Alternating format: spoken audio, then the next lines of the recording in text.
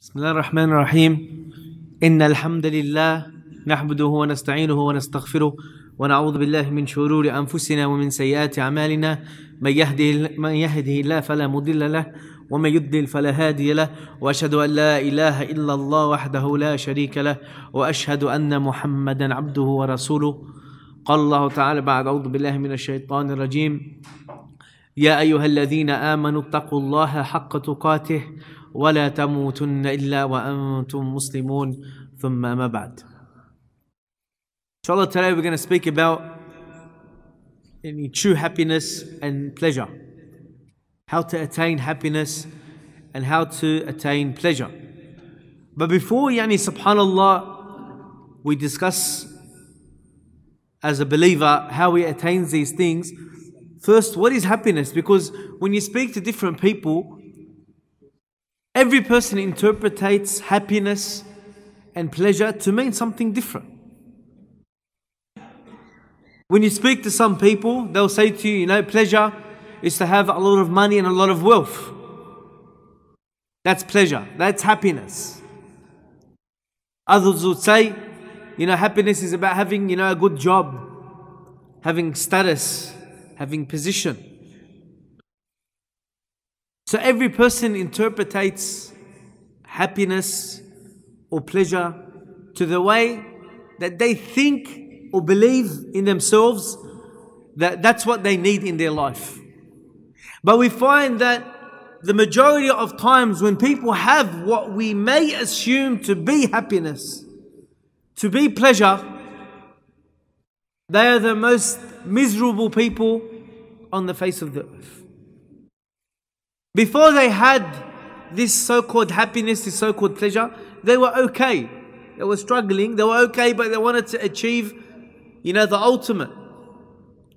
And when they received the ultimate, be it wealth, position, position, whatever it may be, you found that they actually went backwards.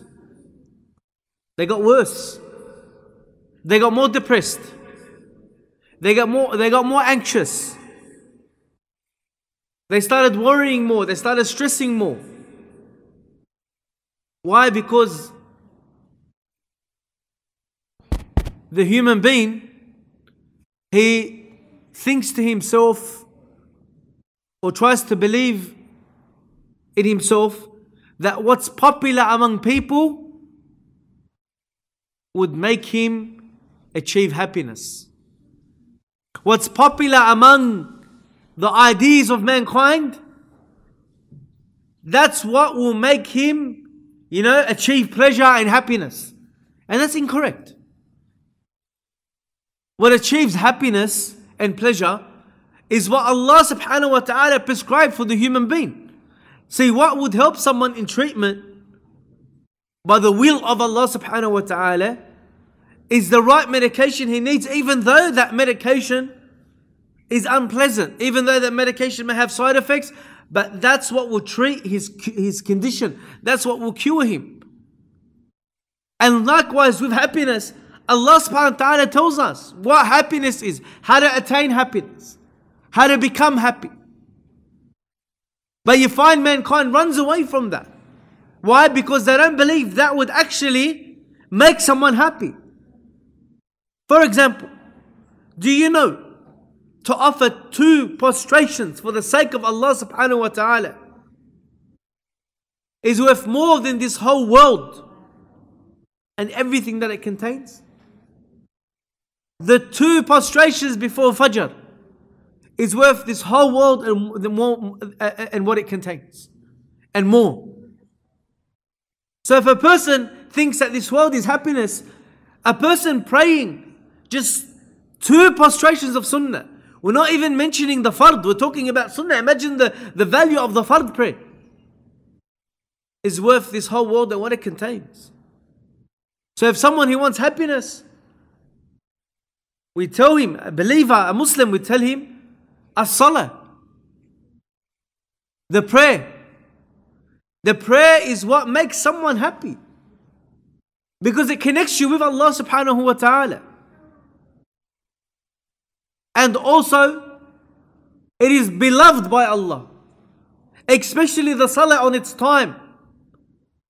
It is loved by Allah subhanahu wa ta'ala. So if Allah loves the action you're doing, Allah will love you. And when a person has the love of Allah, he has the mercy of Allah. That's happiness and pleasure. So again, a person interprets things differently. Sometimes we see something and we say, you know what, that guy's happy, or that, that's what will bring pleasure to a person. But know that a person that has had what this person has had, be it a beautiful house, be it wealth, there are many out there that, has ha- that have exactly what that person has, but it led to their destruction. It either made them bankrupt or they even committed suicide. Suicide, you don't find among the poor and stricken and the needy, you find that among the wealth and rich and rich. Why? Because it's failure for their heart to achieve what they feel or believe they may achieve. They thought to themselves, this will make me happy. They had all this hope. And then once they achieve it, they realize there's no happiness in it. So they've given up. So, what makes a person happy? What gives a person pleasure? Obviously, first and foremost, is a person believes in Allah subhanahu wa ta'ala. He believes in Allah subhanahu wa ta'ala in the right way, and the right aqidah, the right creed, and the right understanding. Because if you know who your creator is, and who Allah subhanahu wa ta'ala is, and how your relationship should be with Allah subhanahu wa ta'ala, you would never despair. You never despair. You would know whatever happens in your life, you have Allah subhanahu wa ta'ala. Do not despair, you won't despair in Allah's mercy. You won't despair that Allah will not provide for you. You know Allah is your protector. Inna Innama waliyukum Allah. Your protector is Allah subhanahu wa ta'ala. You know that. You believe in that. You know Allah protects you, looks after you. And if a person knows that, how can he be upset? If he knows that Allah subhanahu wa ta'ala is on his side. And with that becomes comes belief, comes the teachings of Islam. And you find among the, the main things that a person gets upset about is undermining qadr, the decree of Allah. But his, his belief and his connection with Allah subhanahu wa ta'ala is strong, then whatever occurs in his life, he knows that's from Allah subhanahu wa ta'ala. It is qadr, it is decreed. So he finds pleasure even through calamity, even through trials, even through tribulations. He finds pleasure. Why? Is because he understands his religion. He knows who Allah subhanahu wa ta'ala is. He knows what Allah wants from him. He has the correct understanding. He knows the, the, the qadr. He knows the decree of Allah subhanahu wa ta'ala and the predestined, predestiny that is ordained upon him. He doesn't say, if I did this, this would have occurred, and if I didn't do that. Everything he understands, or he understands that happens in his life, is for Allah's will and permission and decree. And he's happy what Allah has given him because he knows Allah only wants good for him. He only wants good for him. So that makes him feel pleasure. And most important, he knows Allah is pleased with him. How does a person know that Allah is pleased with him? When he keeps his rights and responsibilities to Allah subhanahu wa ta'ala and he tries his best. And when, when he makes dua, he sees Allah responding to that supplication. And this is what the Prophet ﷺ, he used to say, Ya Allah, as long as you are pleased with me, I don't mind, I don't care. Nothing is important as long as you, Allah, is pleased with me. So a person having his belief, his relationship with Allah subhanahu wa ta'ala, and the correct understanding of his aqidah or his creed or his religion. Number two, a person would only attain pleasure in life and happiness if he does righteous good actions, righteous deeds. The one that does these deeds, Allah subhanahu wa ta'ala tells us. But those that do good deeds, Man amila salihan min dhakarin aw untha. Allah says, and whoever does good deeds for male or female, and they are believers, Allah subhanahu wa ta'ala says, and will give him hayatan tayyiba, a beautiful life, a happy life, a pleasant life. Why? Because he done good actions. Remember the last time you gave sadaqah. How good did you feel? How much pleasure did you have in your heart? Think about the last time that you helped someone and that person did not know that you helped them. How much pleasure did you feel when you help someone? You slip money under their, under their door, or you transferred money in their account, or you paid a bill that they had, or you paid their rent, or whatever you, you did. You helped that person in a time of need, in a time of difficulty. You relieve the burden of him. Allah subhanahu wa ta'ala says, whoever relieves the burden of his brother, Allah would relieve a burden of him on the day of resurrection. When Allah is pleased with you. How did you feel when you did something and when a person came to pay you, you said, No, I did it for Allah's sake. I don't want nothing from you. How many times have you felt that happiness in your heart? when you're uh, driving and you find someone that's broken down on the side of the road and you get out and you help them. And even they offer you something, you say, No, I don't want anything. How did you feel inside? How much happiness did you feel? So, doing righteous actions, good actions, brings pleasure to a person, brings him closer to Allah subhanahu wa ta'ala, and keeps him occupied with wanting Allah's reward. And this is something you can never do enough of good deeds. You can never. You can never do enough sadaqah. You can never do enough actions of goodness and helping. You can never do enough. Whatever you do, it would only be rewards for you more and more on the day of resurrection. The day when you will stand in front of Allah subhanahu wa ta'ala. You find sometimes again these, these days people Yani we don't want to undermine what depression is. Depression is nice and simple, easily defined. Depression is not feeling sad. That's not depression. Because you can feel sad. It's okay. You know, you haven't seen your mother for a long time, someone's passed, feel sad, that's fine. That's not depression. Depression has a nice, simple explanation or definition. People try to complicate it. But it's simple.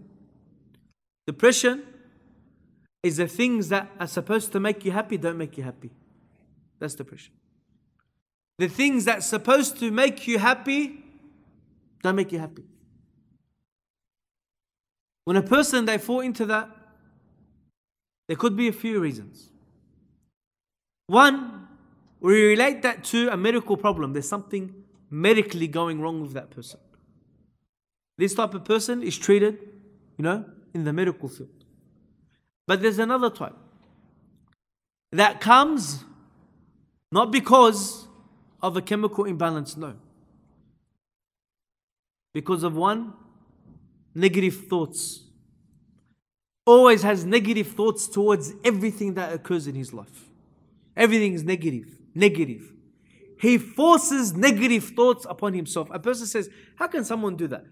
Just like you don't eat junk food to affect your body. You know, you avoid junk food and you only eat healthy food. Likewise, a person fills his mind not with healthy thoughts, with bad thoughts. How does he do that? He is jealous towards other people. He's envious towards other people. He doesn't like other people doing better than what he is doing. He always undermines the actions of people. He always looks towards what other people are doing. He ends up developing hatred towards others. Everything is just hatred. He just hates every person for no reason or small reasons. So, this type of person that's filling his mind, what's that to lead him? It's to lead him for, for him not being happy. Even when there's happiness there, Allah's giving him happiness. There's happiness in front of his eyes. This is when good deeds come in. Because the only way to fight that and to get your mind off these bad things is to build good thoughts. And how do you do that? By doing good actions too. Good actions come with good intentions. Good intentions come with good thoughts. But some people slip into the category where they end up even secluding themselves away from everyone. Because that's how bad of depression they've come to, not because there's a medical problem, because they've developed it themselves. And the Prophet ﷺ warned us about this type of action. Actions of jealousy, actions of envy, acts of looking down on others, you know, acts of asking why, how come, why not him, why me. And mashallah, the person has the best car, the best house, the best job, everything, but he's not happy. Why? Because he's too busy looking at those above him. Where the Prophet ﷺ said, Look at those that are less fortunate than you. Why? So you appreciate the blessing of Allah subhanahu wa ta'ala. The blessing of Allah. And know that whatever a person has, even he doesn't find happiness in it, Allah will question him about it. You find people that have everything, but they're depressed. Have you what are you depressed about? Nothing's making me happy. You don't appreciate what Allah has given you. Do you want Allah to take it away?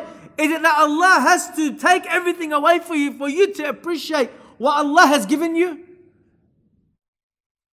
Is that where you want things to lead to? So a person will say to himself, or keep on putting into his mind bad thoughts, bad thoughts, bad thoughts. And we just ponder about these bad thoughts. And it's like a person feeding his body junk food. Eventually, what's going to happen? It's going to break down. You feed your body good thought, good food, therefore you also feed your mind with good thoughts. You know, when you see a brother do good, be happy for him. You know, I, I would say to brothers, if you see a brother become successful in business or whatever, in a halal way, obviously, be happy for him. He's an asset to you.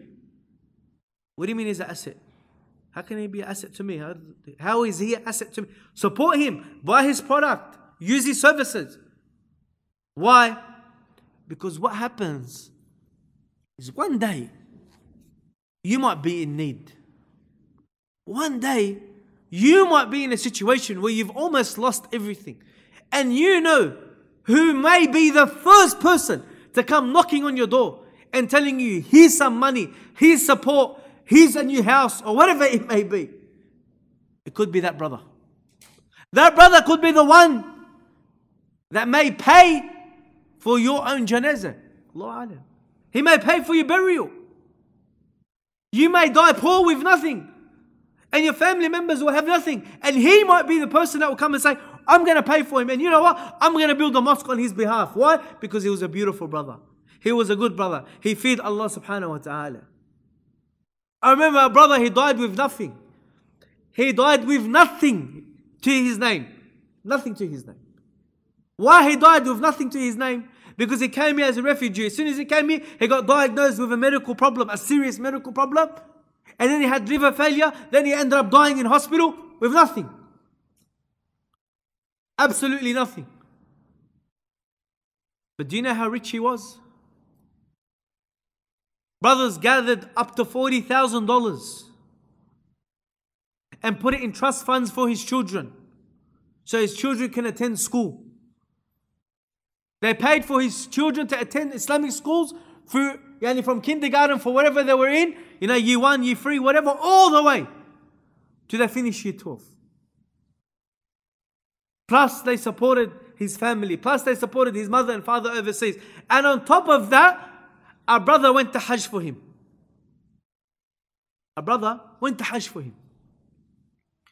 He died with no money, but he died rich. So these brothers, they're, you know, ahead of you to say, they're making money. These are the ones that are going to help you one day when you are in need. And if you have money and you do you are comfortable and someone surpasses you, also know that one day that person also, don't look at him as competition. He would also be a brother that may support you one day. And that's how it works. Or maybe that Allah knows if He gives you too much, you destroy yourself. The happiness comes mainly from being content being happy what you have, not being miserable what you don't have. Because a lot of people were miserable from things they don't have, and it never benefited them when they had it. Call a person. You know what? I'm going to give you, you know, we're in Belmore. I'm going to give you a thousand houses in Belmore here. Most people will probably end up dying of stress trying to manage all this stuff. Too much of something is not good. Allah subhanahu wa ta'ala tells us, Al-hakum takathur piling up, piling up, piling up, diverts you. And for some people, it's a punishment. So don't be jealous or don't envy someone. Because when you do that, again, that can destroy your happiness. That can destroy your joy. Next one. Don't keep looking towards the past. See, person always looking to what's happening in his current situation. Don't look towards the past. Meaning, don't let the past affect your pleasure now or your happiness now. That's like, you know, a friend chasing you around everywhere you go and making sure that you're not happy. Push them away. It's not important. The past is not important. It should have no connection to what you're doing in your present day. Meaning, if things have happened, don't be saddened about it. It's in the past. And you know, in the past, when we think about things in the past, they're always worse, or we always take it more heavy and more worse than we were actually when we were actually going through it. So when we we're going through it, it was difficult. But then years later, when we think about it, we actually make ourselves more upset than we were during the time we were going through it. How did that happen? Why did I do that? Why didn't I say that? Why didn't I go ahead with this? Why didn't I sign this contract? Why didn't I that? And why didn't I do this? And why, why, why, why, why? Keeps on pondering about it, thinking about it. At that time, you made a decision. Regardless of the decision that you made, you're not in control of the outcome. You're not in control of the outcome at all. You could have made 10 decisions and the outcome would have been the same. But at the time, you made a decision. It didn't go right. That means you learn from it, and next time, you build on that. But you sit down and you speak to people, and all they talk about is their past. In the past, I did this and this happened, and, and they get upset and they don't allow their past to make them build themselves. And their past affects their wife. Their past affects their children. Their past affects their family. And likewise, they become secluded. They don't want to see anyone. They don't want to deal with anyone. They don't want to talk to anyone. There are brothers out there that have lost inheritance. Why? Because other siblings have stolen the inheritance. And they're still living in depression and they're still upset about it. Habibi, it's your right. It's not going to go away. You're going to get it on the day of judgment. You're gonna get it, you're gonna get it back from your family members. That inheritance they took, that you're right, that is not halal for them. That is haram for them. Meaning, if they took a house that belongs to you, then that house has no barakah. You know, we get scared of a haunted house, right? A house that has ghosts in it. This house is haunted or it's got jinn in it. We get so scared and we get so worried. What about a house that's cursed by Allah subhanahu wa ta'ala? What about a house that has no mercy of Allah on it? That's the house they're living in. But do you think Allah will leave you? You think Allah will do it unjustly? But why are you hanging on to the past? He becomes like a hermit. You know, he secludes himself from the whole world. He stops working. He stops everything. He just sits at home worrying about what people took from him. You couldn't control it. You didn't see it coming. It happened. Move on. Move on with your life. The people around you, they're not deserving to go through that. They don't deserve, they deserve a right minded person. And it comes back to you because you're feeding your body bad thoughts, not from the present, from the past. It's the past. It's gone. It's finished. It's the qadr of Allah subhanahu wa ta'ala. Maybe Allah took the house away from you in this world so you don't become deviated and so that Allah subhanahu wa ta'ala will give you a better house in Jannah. Patience. And take pleasure from what you have around you because you're still eating, you're still drinking, you're still living. A person who doesn't hold on to his past to affect the pleasure that he has. And there are many points, but we're just discussing yani, some of them. And finally, a person will never attain pleasure if he does not have a pious and righteous wife. Because the Prophet ﷺ, he said, This world, ad-dunya this world is a quick enjoyment. And the best of those enjoyments is a righteous and pious wife. If a person, and likewise, the same you can say for a sister, that if she doesn't have a pious and righteous husband, you know, the enjoyments of this world is to have that, a righteous and pious husband, because, you know, الطيبين للطيبات, you know, the, the, the beautiful and righteous are for the beautiful and righteous. Right? And the evil and corrupt are to the, for the evil and corrupt.